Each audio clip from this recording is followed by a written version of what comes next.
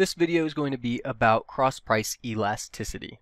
And that's the short name for it. We can add the rest of the title if you want. Remember, there's one formula for all elasticities. We have a percentage change in quantity divided by a percentage change in something else. And that something else is the impulse. That's what causes us to change our behavior. And the quantity that goes on top is our response. That's how we respond to the impulse.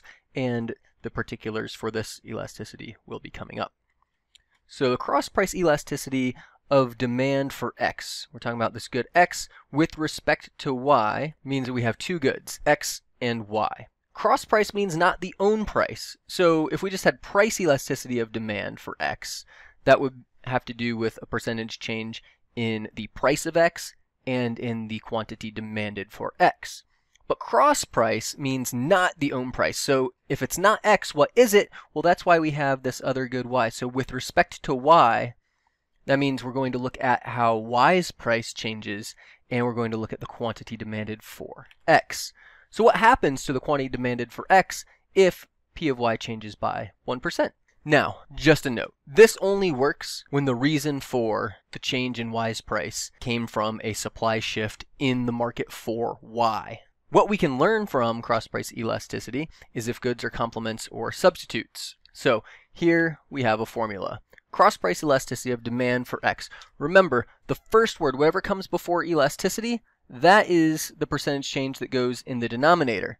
Whatever comes after the word of, demand, well, in this case it's demand for X, that's what goes in the numerator. So a particular example, say we want the cross-price elasticity of pencils with respect to pens. The cross price is the price not of pencils. Pencils is, after the word of, that's our quantity. The cross price is for the other good, in this case pens, that goes in the denominator. So if we get a negative number for this cross price elasticity, that means the goods are complements. And if we get a positive number, they're substitutes. If the elasticity equals zero, then that means that the price of one good changes and the quantity demanded for the other good doesn't change. Those goods are unrelated. So why does a positive cross-price elasticity mean that goods are substitutes? Let's think about it like this. Say that the price of pens goes up. That means the quantity demanded for pens falls, just the law of demand. In order for our fraction to be positive, we need our numerator to be positive. That means that the quantity demanded of pencils increased. Another way we could have a positive cross-price elasticity is if the price of pens falls.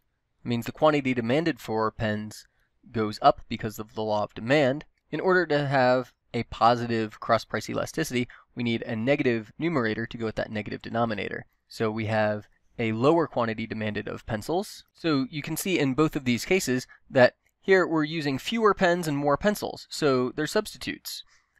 Down in the bottom example, we are using more pens, so we don't need as many pencils. So let's take a look when cross-price elasticity is negative.